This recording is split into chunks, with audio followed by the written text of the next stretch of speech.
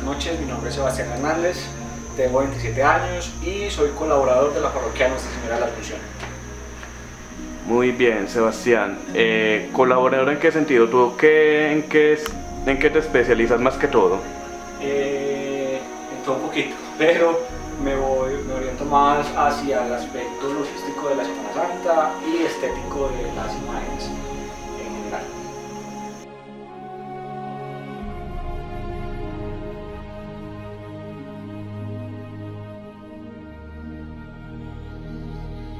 Ahora, una anécdota que nos quieras contar de la Semana Santa o anécdotas que tú recuerdes que te hayan marcado, que hayan marcado la historia de la Semana Santa en Copacabana. Bien, en este momento aquí como eh, no recuerdo como algo así muy, muy grande porque de otra manera la Semana Santa tiene algo muy especial, es que nunca es igual dos veces. Una Semana Santa nunca es igual dos veces y, y aunque todo sea parecido, todo sea la misma base, cada, cada celebración, cada procesión, cada momento tiene su magia propia. Entonces, lo que a mí me, de pronto más me ha marcado es eso, es la Semana Santa en general, la fuerza que tiene la Semana Santa. El, el, el arte que ella misma es. ¿Considera usted que los cambios que se han ejercido durante la Semana Santa han sido para bien o han sido para mal? Para los gustos los colores. Eso no hay, no hay vuelta de hoja.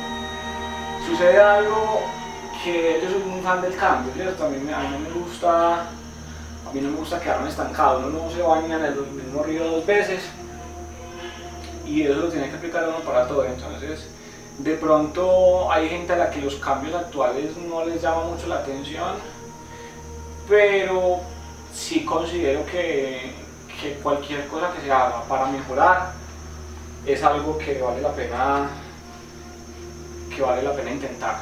Entonces, ver yo la Semana Santa como la recuerdo cuando era pequeña, como es ahora, sí, es muy, es muy diferente y de pronto a las personas más tradicionalistas no les gustará, pero, pero a mí me encanta, a mí me encanta y me seguirá encantando, sea como sea la Semana Santa, porque la Semana Santa tiene vida propia y no es lo que nosotros queramos hacer de ella, sino lo que ella misma quiere hacerse. ¿Cómo se prepara usted para lo que es la Semana Mayor? ¿Cómo me preparo en qué sentido?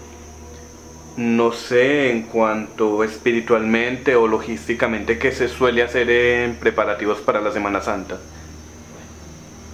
Es una cosa muy rara porque aunque yo sea muy dado a las imágenes, no soy lo que se considera una persona muy religiosa. Yo tengo mi, espiritualidad y manejo mi espiritualidad de mi propia forma, sin embargo, no, no, no soy muy, muy dado a rezar y a, todas estas cosas tradicionalistas. Entonces me gusta vivir de mi propia manera. Para mí, como dijo esta semana un, un, un imaginario yo rezo, esta es mi forma de rezar. Yo rezo de otra forma y esta es mi forma de rezar.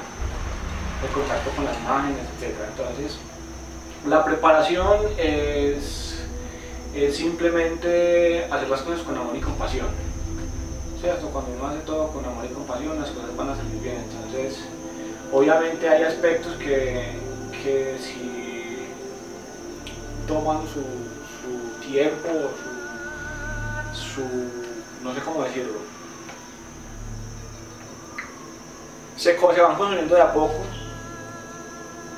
entonces sí hay, tiene que haber mucha preparación física porque está la cuaresma por lo general es una época de poco sueño, la Semana Santa es una época de poco sueño, eh, no podemos comer siempre como se viviera, pero yo siempre he pensado de algo y es que la Semana Santa, la Semana Santa ya solo se trabaja, eh, Dios, Dios, Jesús, la Virgen María, ellos nos dan las fuerzas a veces cuando no las tenemos para para salir adelante y hacer las cosas de, la mejor manera. Entonces la mejor preparación para la Semana Santa es, es vivirla, es tenerla todo el tiempo en la cabeza.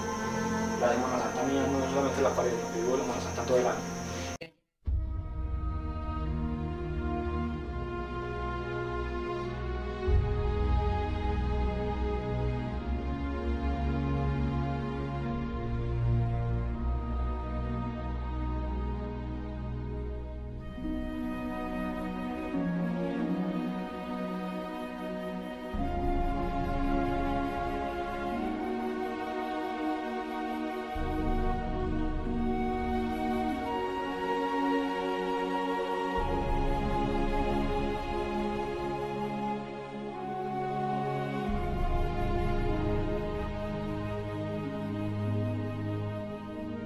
Usted que es un trabajo desgastante, pero a la vez gratificante todo el esfuerzo que se hace, tanto logísticamente como espiritualmente, puesto que es una Semana Santa, digo una semana tan, tan movida? Eh, movida es significativo. Eh, nosotros solemos decir una frase cuando estamos trabajando y es que cansancio, pero qué satisfacción. Qué satisfacción ver a la gente